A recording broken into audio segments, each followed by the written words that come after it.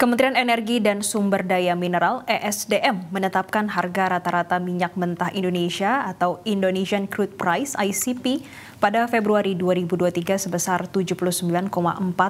dolar Amerika per barrel. Posisi ini naik tipis 0,94 dolar per barrel dibandingkan Januari 2023 sebesar 78,54 dolar per barrelnya. Penetapan ini tertuang dalam keputusan Menteri ESDM nomor 101.K garis miring MG.03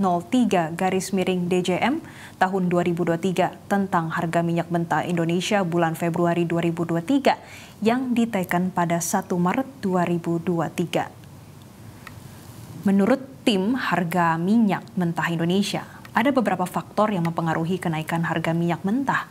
utama di pasar internasional. Antara lain, kekhawatiran pasar atas kondisi ekonomi global, khususnya di kawasan Eropa dan Amerika Serikat, akibat rencana kenaikan suku bunga Bank Sentral Eropa atau European Central Bank ECB sebesar 50 basis poin menjadi 3 persen